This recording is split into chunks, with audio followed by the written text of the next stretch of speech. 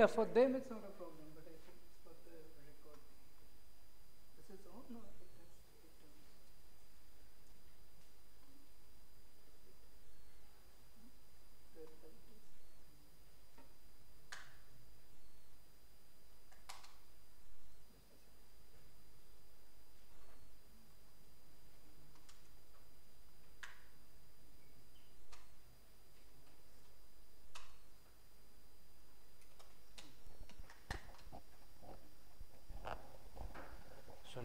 shout.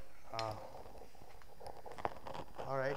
So usually when you give a talk, you put your name and then you talk about your collaborators at the end.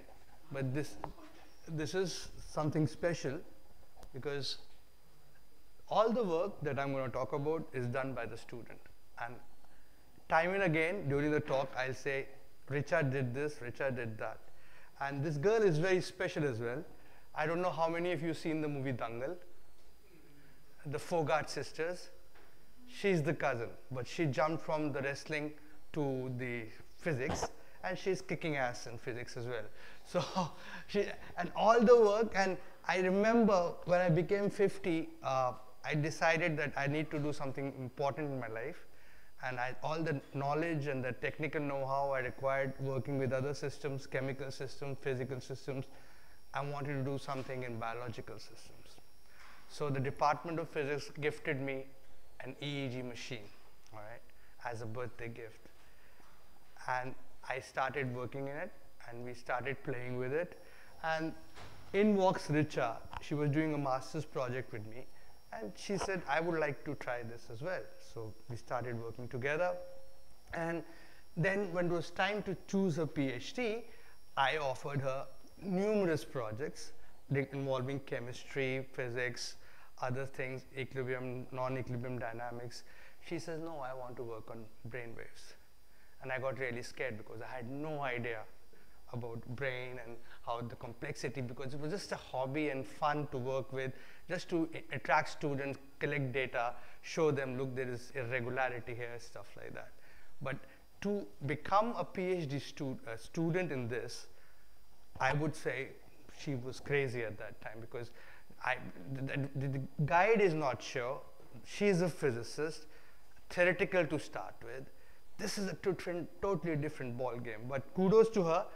So she deserves her name over here. And all the work that I'm going to talk about is going to be all her results that she has obtained over the last two years. At least she has found something to deserve a PhD, and she, she, she plans to continue with this. So the two main things I'm going to talk about is entrainment and brave. This one I feel comfortable with because I've worked over the years, as I'll show you. And brainwaves is the part that is new to my uh, research uh, uh, curriculum. Okay. Since I'm not taking anything for granted, you need to know what is entrainment. Entrainment, the video can go on, I can keep on talking. Entrainment is something, if you have a natural frequency of an oscillator, you do something to it and entrain it, means change it according to the specification of your protocol, what you want it to be. You could change its frequency, you could change its profile, so on and so forth. So this is the most common chemical reaction. As you see, it has a rhythm to it. And that is indicated by the changing of colors as time goes on. So if I was to plot the concentration of a certain reactant as a function of time, it shall oscillate like a period one oscillation. If you don't understand any of the syntax or the jargon of the language, please ask me. It's just like a sine wave or a cosine wave depending on your initial conditions, it goes on like this. So if I have this, eventually it will die out because these reactions don't go ad infinitum if they're in a closed vessel because their out of equilibrium remains for a little while. So you see it is in changing colors cyclically from blue to the light, light colors and so on and so forth. So this is a natural oscillations. You have seen oscillations, the diurnal oscillations, lot of oscillations are part of life. Rhythm is what keeps us alive. Is that correct? Otherwise, you are, if you're, if you're not oscillating, you're dead. So rhythm is this.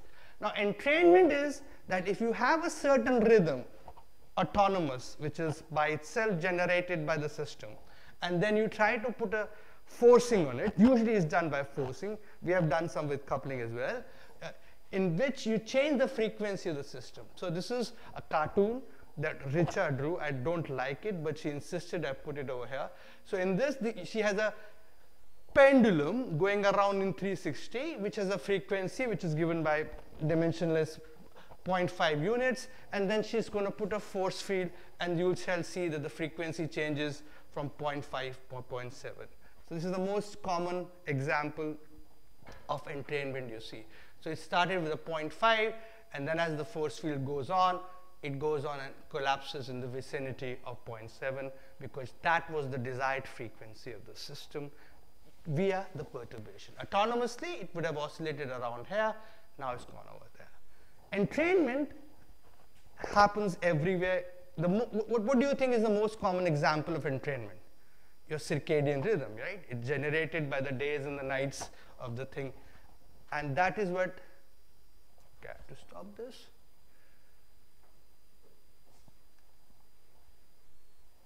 circadian rhythm, you have each of us get up at certain time, go to bed, regulated. Until you travel and then you get into trouble because of the jet lag because you know uh, uh, your circadian rhythm gets up. So the point I'm trying to make is entrainment is essentially forcing a system to do something which it naturally does not do. And can we use it for something good in uh, brain waves. I'll eventually come to that. Another example of entrainment that we had done in a previous system. I don't want to go to much details the system. It's just a mercury beating heart. The name suggests it looks like a beating heart system. So you put some mercury, you put it in sulfuric acid, you have a concave vessel, you put an oxidant, the oxidant anions come to the surface, they mutually repel, it expands, the surface tension decreases. And then this is an iron rail so they keep on expanding till it touches. Reduction happens. It goes back. Surface tension normally has to be high right and this is the rhythmic behavior that we generate over here which is shown which was just shown to you I don't know whether it will go back again if I go back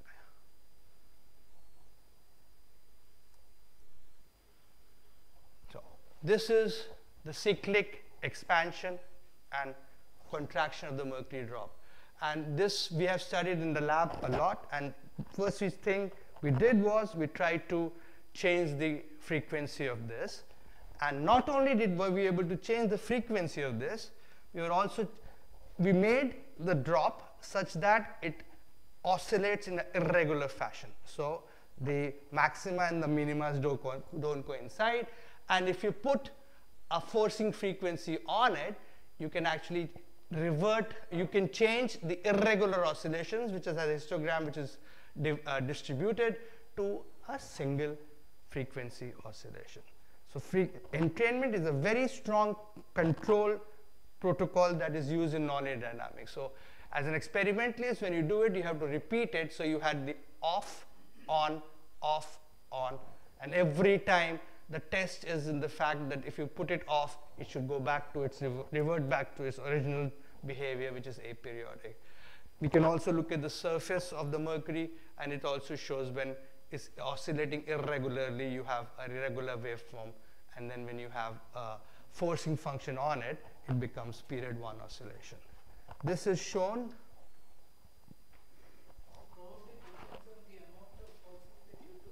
Yes, you have a critical value uh, beyond which it will work, and there's an upper threshold as well also because you squish that. Yeah. So you on the left-hand side, up to the you you see if you can notice the surface is irregularly oscillating. You know, it makes different shapes as time goes on. On the contrary, to the right, my right, yeah, you're you're right as well. You have a cyclic vibration. So this is the video corresponding to the time series which was shown in the previous slide. So to re reiterate and to finalize, irregular oscillations in the absence of the forcing and regular oscillation when you have forcing impinged on the system. So this was our background. We knew entrainment, we felt comfortable with it, and also we tried entrainment different ways. This is another system we worked on. I'm not going to go into the details about corrosion of copper in sulfuric acid. And here we were able to actually uh, achieve entrainment by mutual coupling of two oscillators. If the frequency between them is adjusted, and I show you a time series trace of 1 to 2 entrainment. So you realize for every one oscillation of one of the electrodes, you have two oscillations for the other one. And this is something technical which you don't need to know, but for the sake of completeness, I need to tell you, we can generate something which is called an Arnold tongue, which has devil's staircase structure. So you have an entrainment of 1 to 1 over here, 2 to 1 over here, 1 to 2 over here. And you can get different behaviors, and it all collapses down in the nomenclature of uh, nonlinear dynamics. Is called Arnold tongue. So I hope I can, I've convinced you that we have worked on entrainment before, so if you feel very comfortable with it. But now we use a new experimental system, and that is the human brain. All right? This, if you are a nonlinear dynamics or you like complex things, this is the mother of all the systems. It shows everything. It shows space-time irregularity, it shows collective dynamics, it shows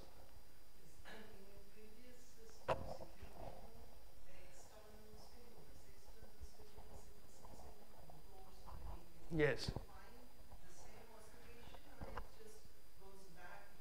I said it reverts back. Otherwise, it ain't going to work because it means you have drifted the system to the new parameter space. So it actually has to go back. That's why you have the on, off, on, off to show when you take it off, it goes back to your natural state. Did I answer your question? Okay. So this is now experimental system Ours. This is, and it looks fascinating. You know, brain has been, in my opinion, is the most complex system you have available in the universe. And uh, people have been fascinated all the way from artists to uh, to philosophers to scientists in trying to decode this thing. I mean, the, the, the fascination and the is just encapsulated if you Descartes, what did he say? I think, therefore I am. It's so amazing, you know. It's so complicated. It shows everything you wanted to show, but still you don't know much about it. Although people might claim on the contrary, it, it's, it's, really very, it's an intangible uh, mystery of life. To the best of what, what I'm going to tell you is basically you can read it in books or in Wikipedia, nothing new here. So you have three essential parts to the best of my knowledge. You have the brainstem, which regulates involuntary motion, uh, things like the blood pressure and uh, the metabolism, things which you don't control but happen without you knowing it, all right? Then you have the cerebellum, which does more advanced thing like the motor control and stuff like that. What we are fo focusing on, and you will realize sure why, uh, soon enough why, is the cerebrum, is the cranium, is the outermost region, which has in four distinct regions. So you have the temporal lobe, the frontal lobe, the parietal lobe, and the occipital lobe. For our regions of interest are the temporal lobe and the parietal lobe and the occipital lobe. Because what we are trying to do is entrain the system, entrain the brain using light and sound. Okay? The photic stimulation, which is the light, affects in the parietal lobe and the occipital lobe. This is all well documented by people who have been working on this. And the auditory stimulus, the sound, works, uh, shows its effects in the temporal lobe. So for the purposes of my talk, I'll be focusing on these things. Why? Because what I'm measuring is the EEG, which is the electroencephalogram, which measures the activity of the neurons. Neuron that how, how many neurons do you reckon we have? We have billions of neurons, right? And they're interconnected by synapses, you have axons, you have dendrites, and they have bundles, and each neuron fires.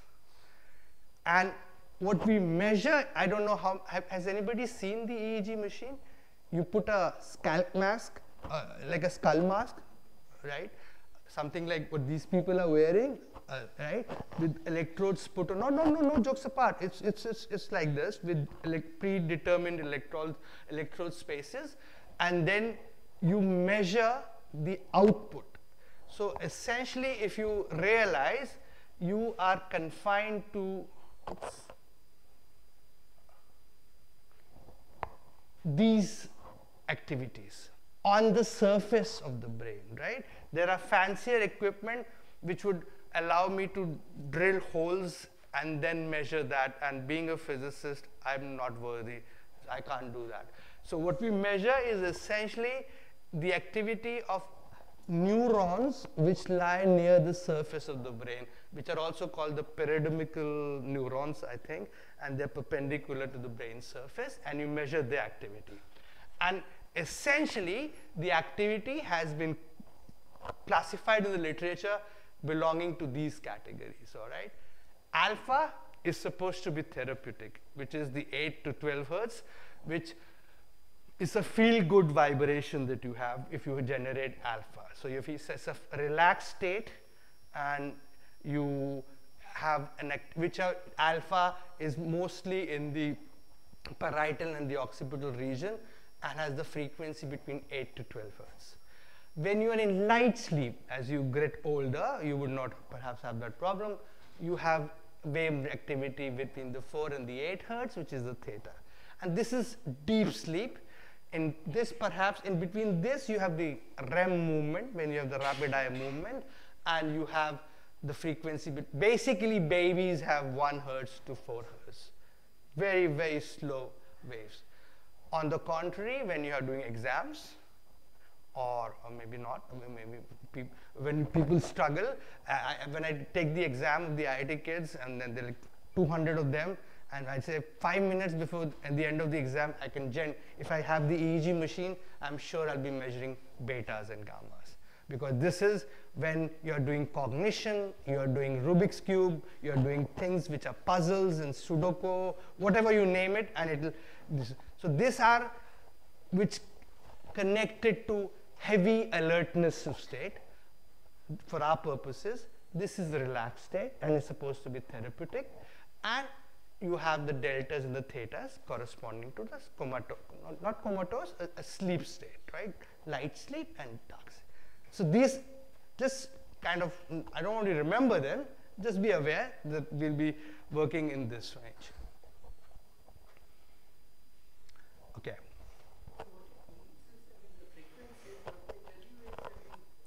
When you're sleeping, you get in this interval, when you're uh, relaxed, Yes, yes. What you measure, uh, so what you, uh, to, to come back to Shamik's question, you put electrodes.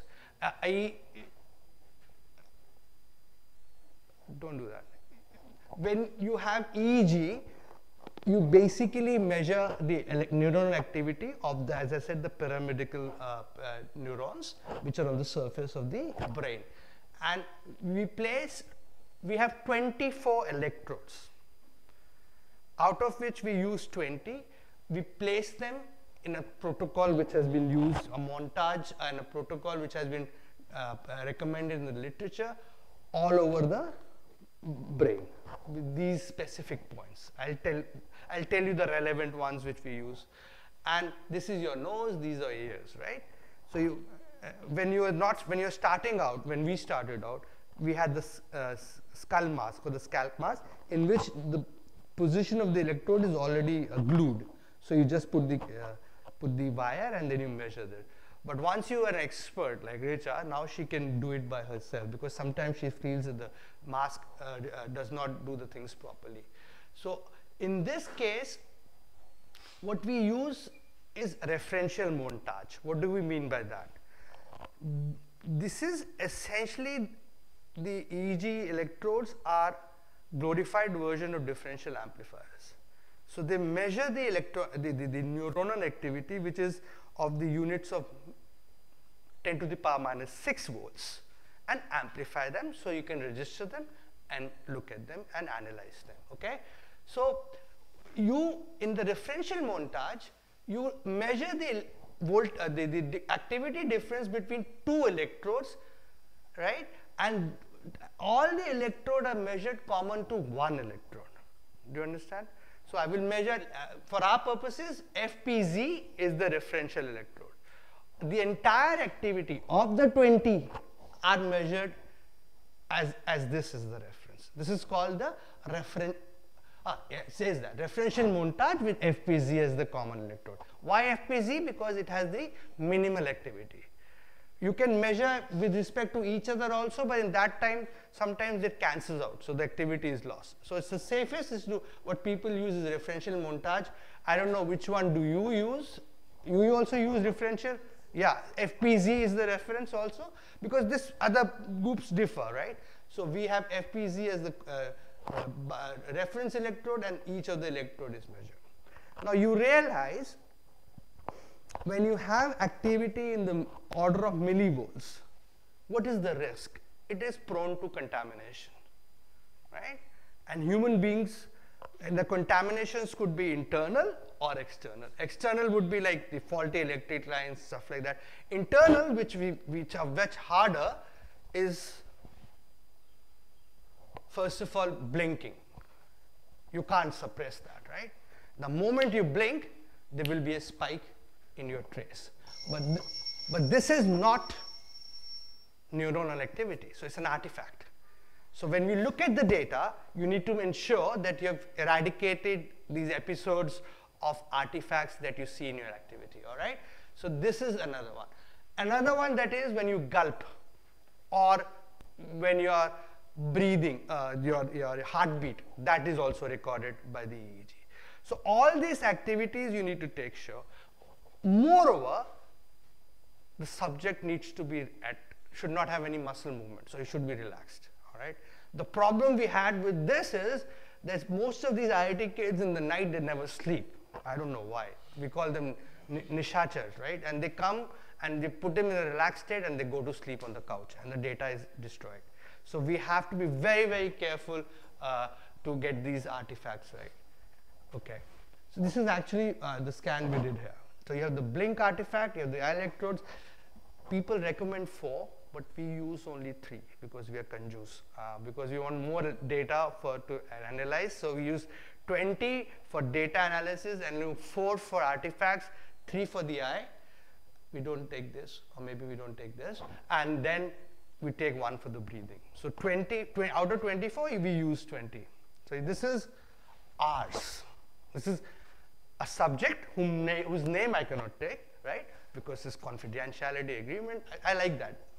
So, and this is what we show this is channel A1 is the heartbeat, it's an artifact, so we exactly know where it is. And there are the three more to uh, look at the eye. The rest is the, this is the neuronal activity. I still love this because this is the first slide of our data with our subject.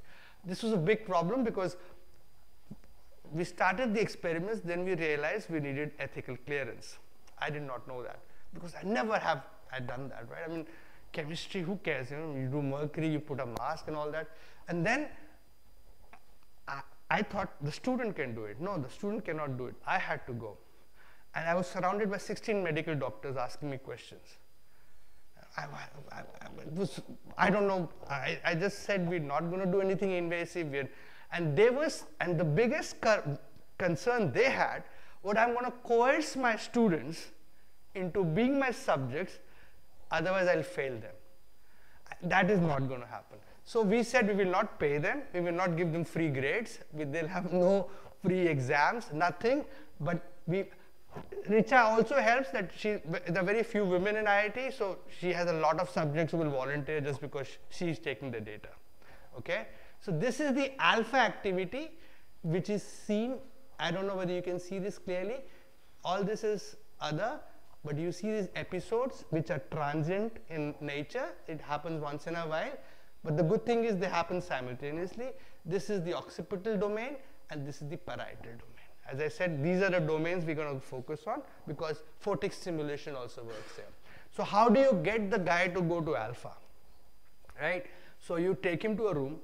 First we had only one room, it could not work because some people were working with circuits here, chemistry here, it would not work. So now Richa, we have given her an enclosure in which is highly draped, so it's uh, the, the, the, lighting is gone, and she uh, and, and this, she has most fanciest couch, and then she actually puts the guy in a state where he cannot move, all right, and then he tells listens to music for 10 5 minutes whichever he likes. Of course not megadeth or any hard rock that that will elevate your uh, rhythm. Something i don't know manu or some some some relaxing uh, music. And then we take the data. I mean we know. She takes the data all right? Because uh, and th then people see uh, this alpha activity up until now no entrainment has been done this is the autonomous activity of the brain Okay. So now what did we do with this? You tell me 10 minutes before, huh? I think I'll finish before. Okay, just to make a point again. So these are the time traces of the 24 electrodes of our EEG machine, right? Out of which 4 are to be discarded because they are artifacts and 20 are to be looked at carefully for the analysis. So here is the frequency spectra of the 20 which are being used and you see a very nice peak around the 10 hertz which is smack in the middle of the alpha domain which was between 8 and 12. So all of you, okay, notwithstanding that you're not aliens, should have when you're relaxed, regardless of the gender, an activity of this. And this is supposed to be good. I must, I'm sure you must have read it. Alpha is good for, uh, for relaxing and meditation. People do all this thing, right? Okay. This is fine. Now what do you want to do? All right. We said now we want to entrain it. Remember, entraining is changing what we see autonomously, right?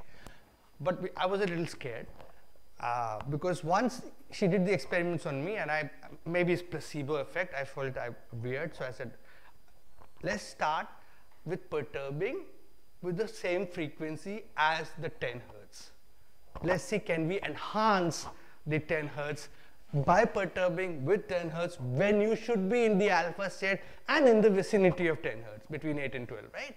Do you get my point? So I'm going to perturb you with kind of a resonant frequency of your own, right? So in this case, this is what we did was we use 8 LEDs, about 1000 lux, about 100 centimeters from you, and we made them switch on and off, right? A white light with a uniform distribution.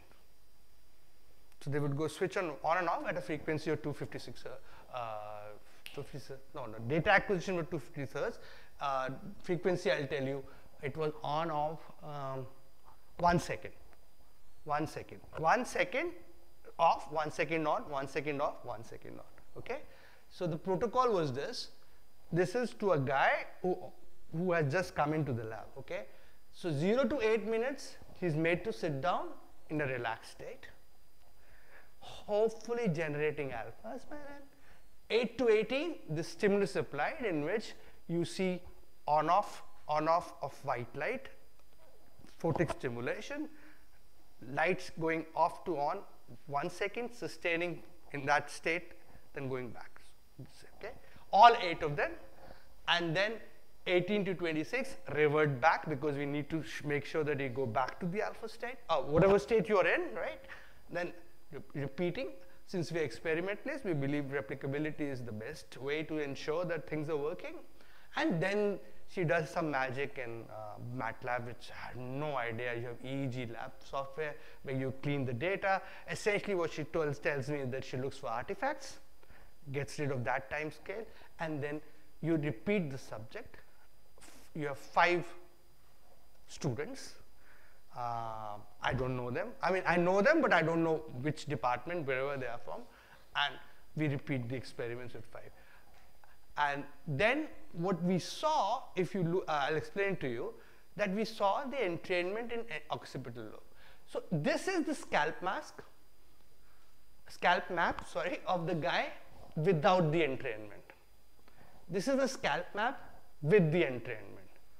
As, and I, you can surely show, see the difference, right? There's an enhancement, and this is the occipital lobe, the, the, the, back part. If you remember the cartoon of the brain I showed you, occipital is the black part, and there's an enhancement of the generation of alpha at this. I'll show you the frequency diagrams to corroborate this, uh, this cartoon as well. So in this case, with the photic stimulation of 10 hertz, you have the blue is the autonomous state, the red is the perturbed state, perturbed or entrained state, whatever you want to call it. So you see blue, I mean, that's why I asked to zoom this, is clear that the contribution to the blue has increased in the red.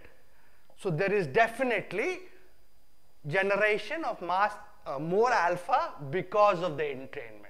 That was the goal. We are entraining with 10 hertz. You should get more of 10. But 10 happens to be close to the alpha too bad, right? So this is what you see. So the blue, the red is bigger than the, uh, the bigger than the blue, and not only that, you have this generation of a superharmonic, which was not there with the autonomous alpha. So you get a generation of 20 hertz, which is due to the entrainment. So not only are you enhancing the existing frequency, you're creating a new frequency. The re results get ludicrously interesting in the next part. You'll see that. So if so, what, this is the Fourier spectra. As I, as I said, blue is without the stimulus, red is with the stimulus. We have three electrodes in the occipital range, the O1, OZ, and the O2. The reason we will do OZ is because uh, one is on the left and the right, so we didn't know if the guy was left-handed or right-handed. Just to break the symmetry, we just said we'd take the center one. There might be some skewness because of that. I didn't want to get into that trouble. So if this is, this is the, something called the short-term Fourier spectra. It is basically times uh, short-term, you see what is happening. So you see for the autonomous things, you have brief striations of yellow here. So you see, what it means is it's consistent with, with, with, with, with what I had shown you here. So you have episodes of 10 and then going away, coming back. So this is basically a colored representation of this. On the contrary, when you have the perturbation on, you see enhancement of 10. And as I pointed out, a generation of 20. All, yes, please.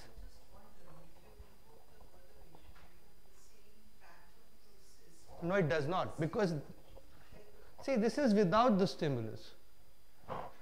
It goes back to this. So this is, uh, as I said, This is the protocol. So when I talk about relaxed state, I'm showing you this.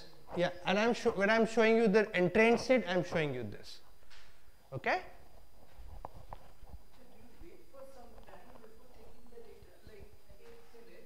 Before eight minutes, of course, you have to get the guy ready, make him sit down, hopefully get relaxed.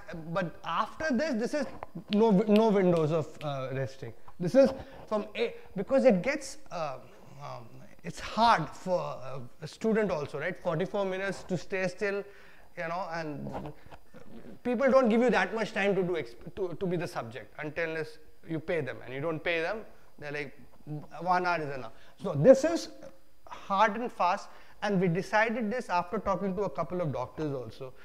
This is the best we could do. I mean, and we have to maintain the same protocol across the five subjects although doctors said it was not necessary, but we, since, see this is what physics does to you, become very rigid. I mean, if you have to have the same error bars for everybody, so we decided to do that. No, this goes, there is no break in between.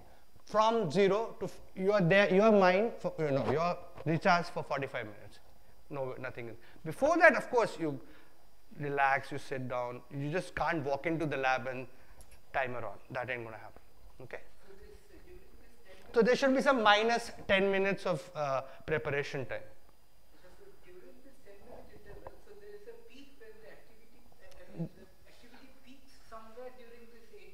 Eight to 18, and then it repeats itself between 26 to. So it peaks and then it. Then it comes back. And I, I will give you more convincing arguments regarding that. Yeah, because see, right now it's dubious because you already have 10, you're getting more 10, then you're going back to low 10, let me let me show you something better. See, but this was the starting point. I'm going to tell the whole story because this is how we started. The only reason, see, maybe age makes you skeptical and cynical. I was I was worried what was how the kids are going to react to frequencies which are not there that different from the alpha. So we start, started from 10, which is a fair fair game. All right. I think I explained that. 10 uh, 10 hertz. And then of course you look it across all the four, uh, five subjects. You, I mean, I, I think uh, maybe I should clarify this. Uh, everybody is not Shamik here. So you have the STFT. So you have an envelope of Fourier, Fourier spectra going along like this. So you have the intensity, the time, and the frequency. So it's actually a sort of a heat map. It's like a, a blanket over it. So you can calculate the area under it, and that's what we calculate with the frequency. With, she calls it eta. So between the frequencies from 5 to uh, 20 hertz, 40 hertz, my apologies, and time from t to 1 to So higher the contribution, higher the this quantity. So you, this eta you plot across the five subjects. These are the medians. So this is the off, on state, off state, on state, off state. So this is across the five subjects. So it's like taking the talking boys and the two at the back, right? All five of you, same things will happen, which is beautiful because uh, everybody is so different. I mean, this is not a chemical system, right? I mean, we have bi biochemical, whatever you want to call it, but this was across. And uh, I think all five are boys. That I know, but I don't know uh, uh more than that. Okay. Then we became braver, right? We said we'll do six now. Why 6? It's harder to entrain with a lower frequency because pacemakers are usually high frequency. Will 6 work? So we did the same experiments. Now I don't want to explain anything because you know the protocol. Everything is identical, right? And you see the spectral density with this. So not only do you have the 10, you see 10 has reduced a little bit, right? Because he was natural alpha, but you have 6, you have 18, you have 24 which were not there in the autonomous oscillator. This gives credence to a previous inkling that you can create frequency because 20 was created. But people can say, ah, it's a sub, sub, uh, super harmonic, maybe it is there. But now 6 was not there. You see that 6 and the sup, super harmonic of the perturbing frequency is created, not of the 20. So you look at these red ones, new peaks are coming on. Same manifestation, if you look at uh, the short-term Fourier spectra, concentration around 10 when it is not perturbed and then you have this more is towards the yellow towards the lower part which is corresponds to 6 hertz 18 hertz so on and so forth okay so you do entrain your brain using photic stimulations i always thought people say when you're sad you should listen to this music this music it will work in auditory as well so we definitely said, try. We did not put music. We, we said we use white noise as photic, we use white noise as sound, of course with the appropriate interval, right? Indeed. Exactly. The off state is the same throughout. Indeed. Which evident here. This is the off state, 10 episodes of 10, and then you get this. you actually decrease the contribution from the 10 because now you're doing it with a 6. So you're converting from alpha to 6ish. I don't uh, 6ish is theta types, right?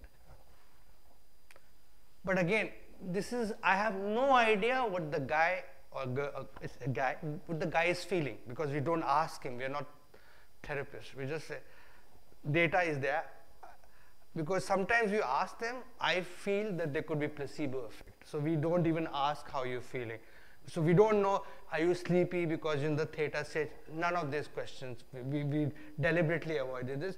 For us, you are purely an oscillation, which is cruel, but that's true.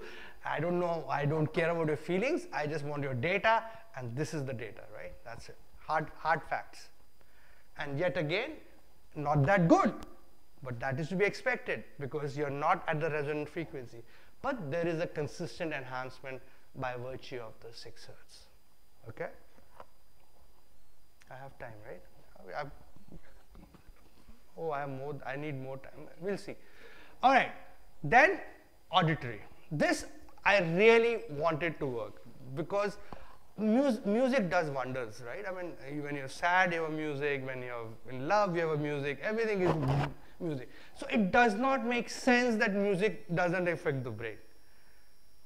But our science suggests on the contrary. If you do, okay, ours is not music. So now you have white sound going on and off. Same protocol, instead of noise, uh, instead of light, we have noise, okay, sound, sound that you hear. Blue, red, nothing happens nothing happens. Moreover, even if something does happen, it's not sustainable through the five subjects. We, so we first tried with the auditory stimulus of 10 hertz.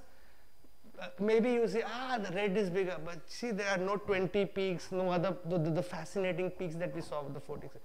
And on this one, and these are the two temporal lobes, because I, as I said, sound is in the temporal lobes.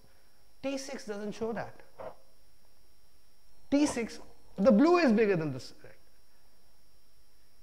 I'm, is, I'm just showing a, a prototype, not, not that every subject shows this trend, but the point is the, the convincing systematic enhancement that we saw in photic was not shown in auditory.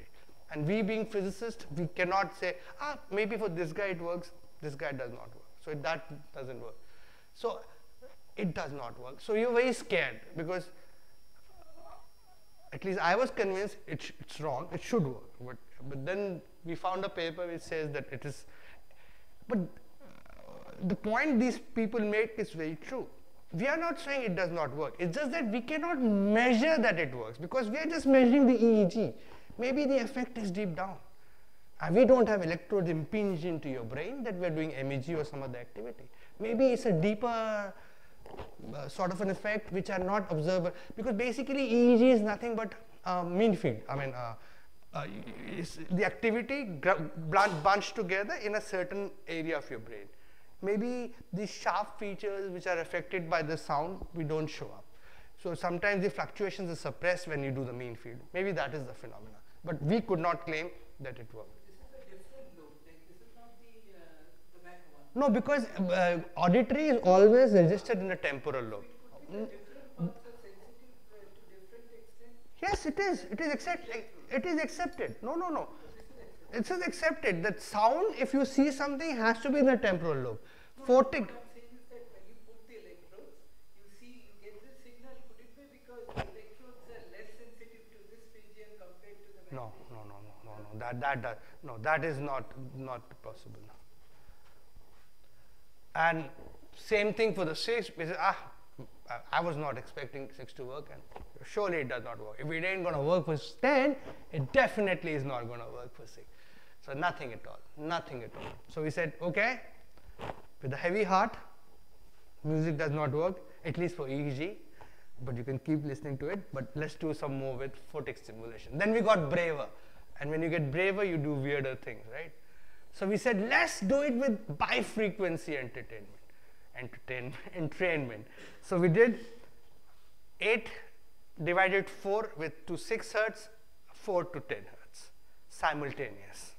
So because the claim is, it's, it's sort of a computer back there in the occipital domain which sums up the stimuli and uh, processes at the back.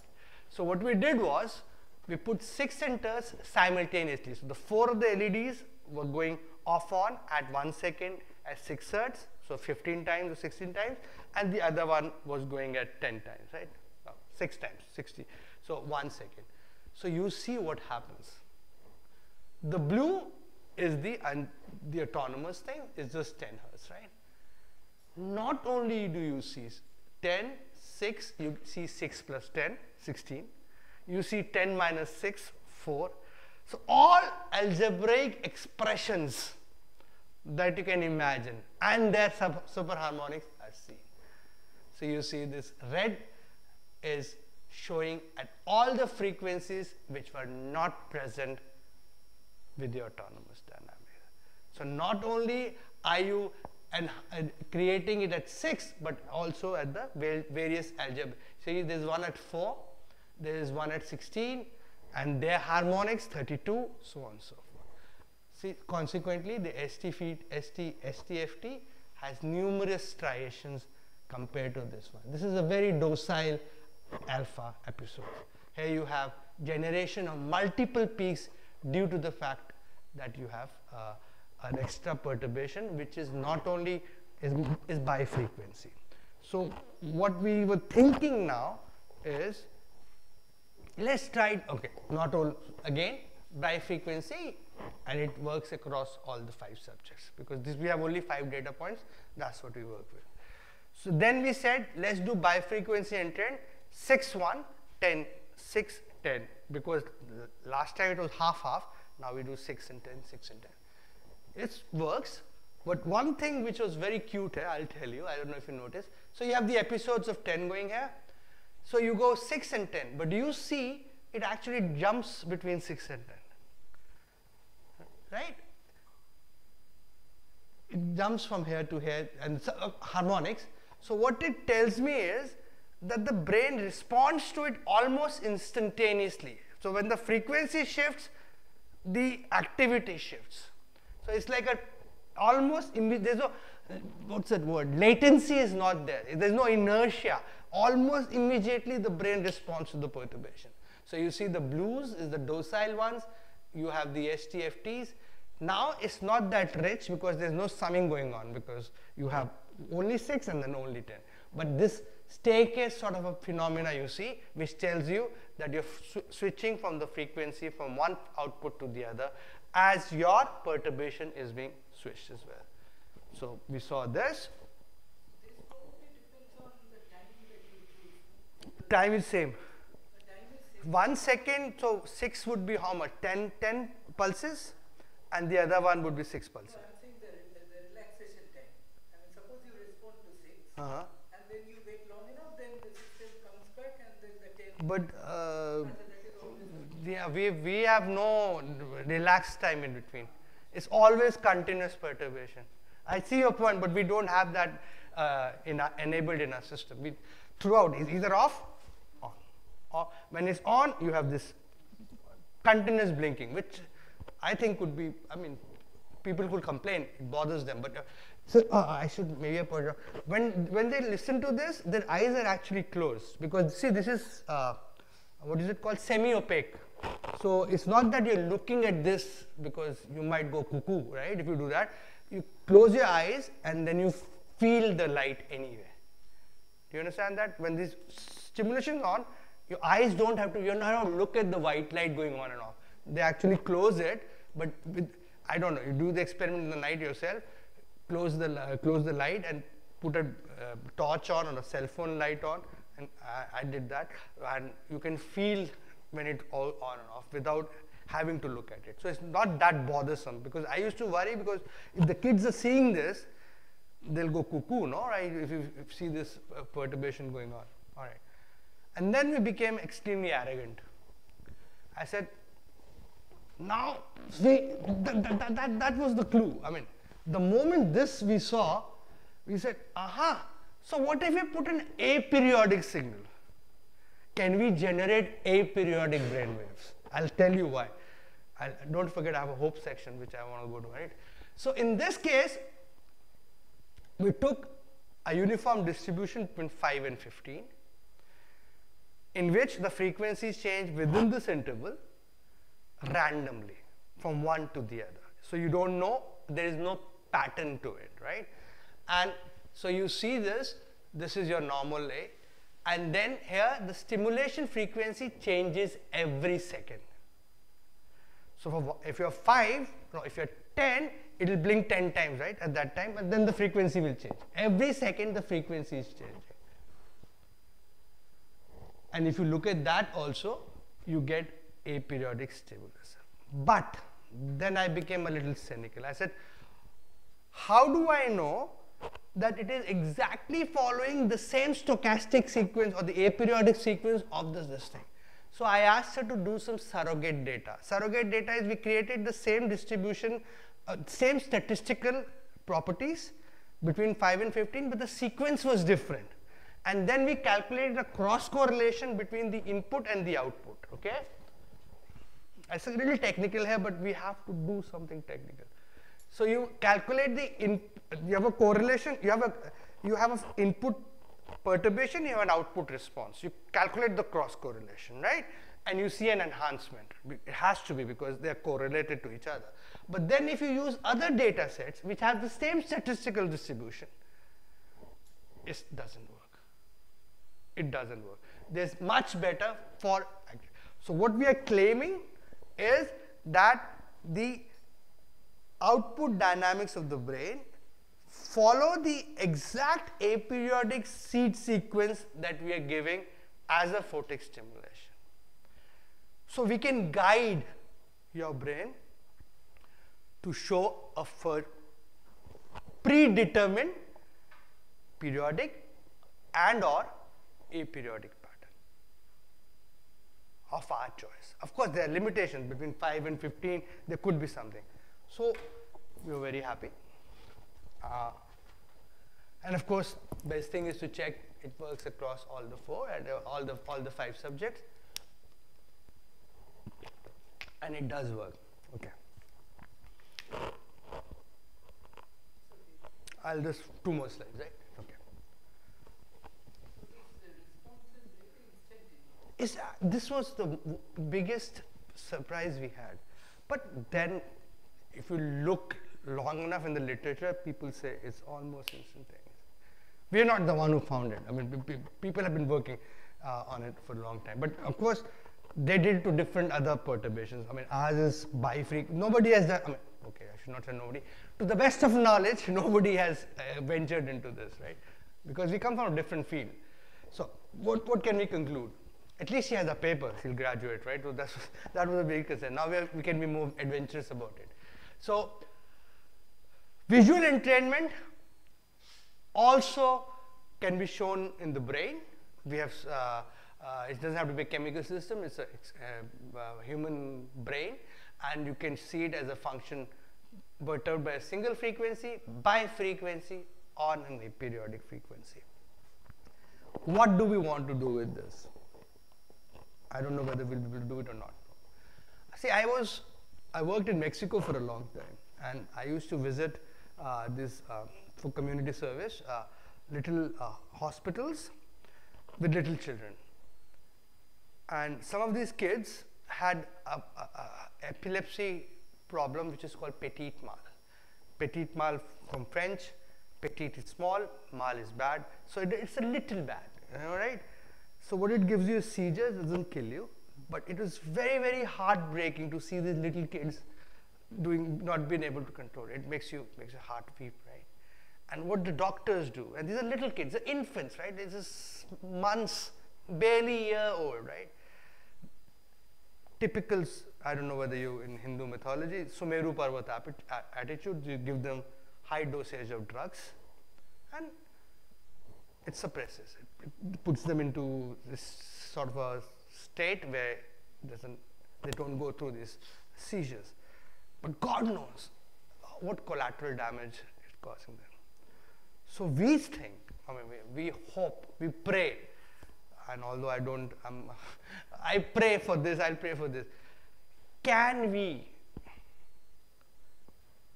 and a petit mal, so this is a seizure from a kid. You see, this is the natural brain waves that we saw, we showed also, right? A little bit of alpha here, some artifact. But when the seizure comes, these are high amplitude, low frequency collective waves. Almost like you would think I am in training here. Is the system autonomous dynamics? So there's a method to our madness. We said, so this is again the heartbeat that they demanded. If we can guide a brain to a aperiodic pattern, what if we show this photic stimulation at this stage? Can we break this synchronized activity? The good thing is it's non-invasive, right? The, it's free,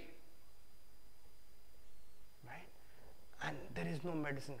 Of course, nobody is going to allow us because we are just some moronic physicist at a dumb institution working on stupid experiments, right? Medical doctors, they, they, they will not allow us. And even if they do, the pharmaceutical companies will not let us survive. This, the goal has been from day one to do something which is called biofeedback. Some groups in Germany are actually doing that. They are they're using photic stimulation. And of course, there's a little bit of selfishness involved also. See what happens when you grow older, you start losing your keys, you forget everything, right? So what if when you were young and your brain was optimal, the bestest ever, right? You store your brain waves. I mean, people store sperms, they store their body parts, cryogenic. You store this as a photic stimulation. And when you grow old, if you see that, do you, can you suppress these little ailments that you have? I know, it's hope. That's why, it's hope. It's not going to happen. So can we use these non-invasive techniques to do something which could perhaps in a small instant help? It is not going to help uh, till we are able to collaborate with the medical doctors and stuff like. But we have more results, but which, which, which are not documented because we have not done analyzed them well enough. We show that there is a definite effect. And the good thing is, uh, the moment this seizure goes away, you put it off, you go back to not the seizure, you go, you wait long enough, of course you don't know, you let it go on for two minutes because these are episodes as well. The kids, you don't have seizures forever, you know, you go back. The hope is to just suppress it then, and how, how cool would that be? I mean, zero medical cost, zero hurting the little babies, it would be wonderful. So we, we hope that biofeedback somebody would ever uh, perhaps not us, um, somebody else would use because results seems to be encouraging. But I don't know. So with that, I'll thank you for your time and I'll take any questions.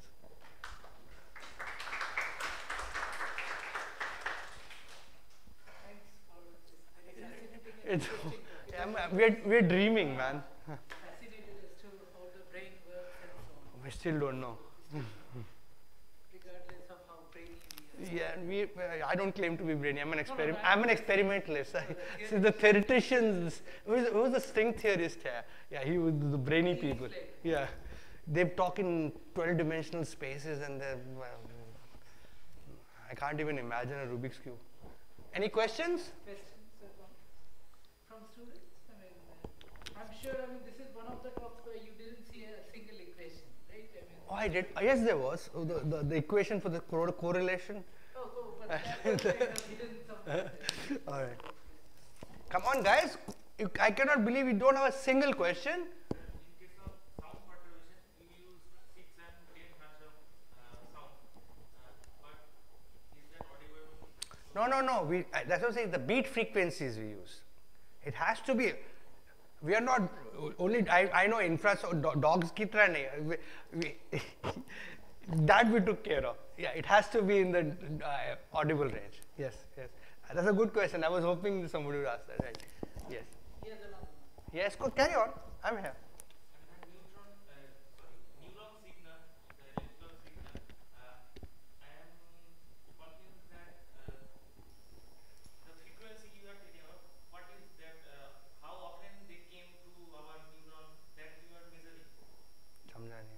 I'm sorry. Is- This is a I speak Hindi also. if you speak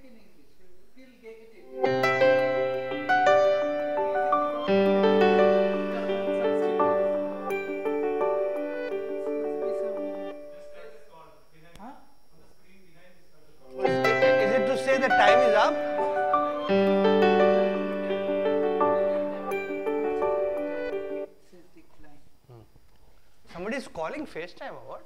I don't know. No, no, so, I didn't understand your question. I mean the signal pulse of neuron, that neuron? neuron, EEG data. EG data, the one that you mentioned. Hmm. via EEG, you are measuring actually the signal, like uh, signal means electrical signal. Yes. Yes, I am. Uh, my question is that that electrical signal you are measuring, that is how often they came right to a neuron. That is the frequency you are measuring frequency. That If I put an electrode here, an electrode here, right? Whatever the signal is going, whatever, if you have an ammeter, which is very high frequency ammeter, whatever you're reading, that is being plotted how time often the signal came to a continuously. continuous. Continuously. It's, there is no, uh, it's not, it's not being sampled or, uh, okay, So two- that's what you- 256 hertz. I mean, it's not continuous, my apologies. It's at the frequency of 256 hertz. You understand? I mean, you have a, it's basically ADC, right? There's a limitation of the frequency of the data can you, so our acquiring frequency is 256 hertz. So for all practical purposes. It's continuous, yeah, it's a data at all continuous con- It's not that you record and then you. So it's not stroboscopic, it's continuous. Any other questions from the? We can ask, maybe they'll also learn some things.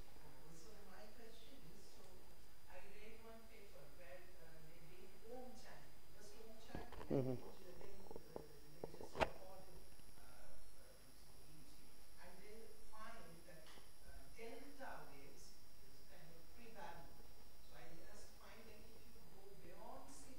maybe, maybe that's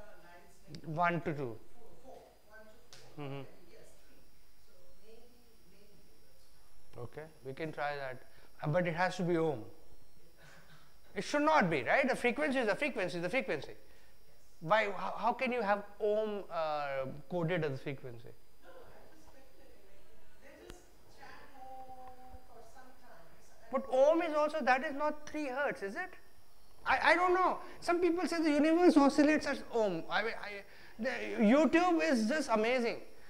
Um, I, I, that is why I tell my students, if you ever fall sick, don't look at YouTube because it will give you all the way from simple nasal congestion to लिंको lymphosarcoma of intestine all can everything is covered in the system तो मुझे नहीं मालूम I have no idea I really think it works I want it to work but I I cannot fudge I it can not I my explanation is uh, it's the only one I have because I know it works. Music something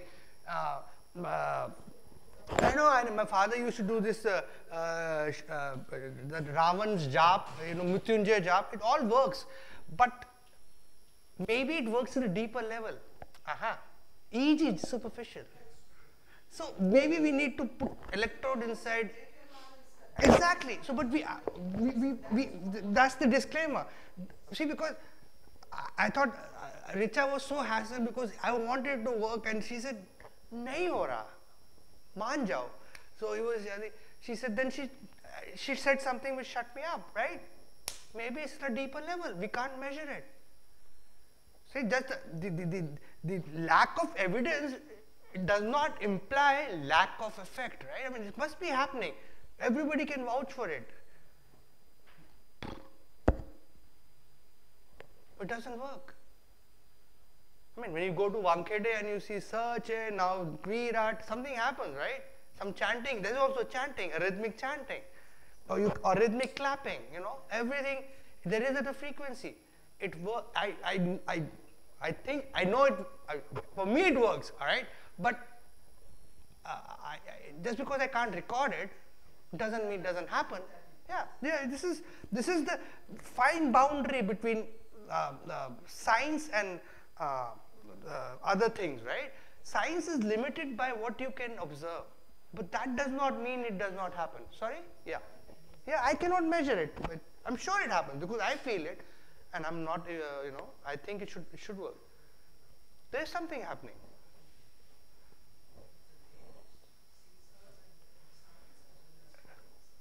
Any other questions? So you pick a, so, so choosing to, okay, choosing to do things from a Fourier transform perspective, uh, taking a Should- frequency and giving an input at that frequency.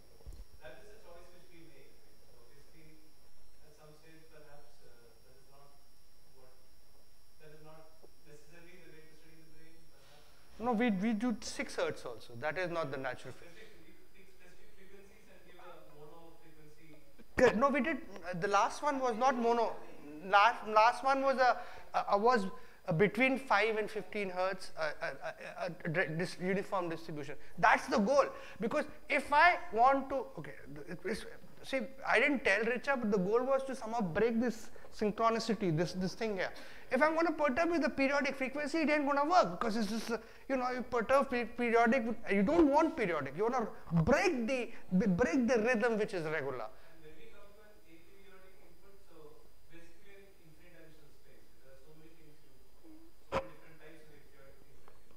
Correct, but we choose it to be of a particular way. Yeah, we use it in the frequency domain. Indeed. Yeah, sure, sure.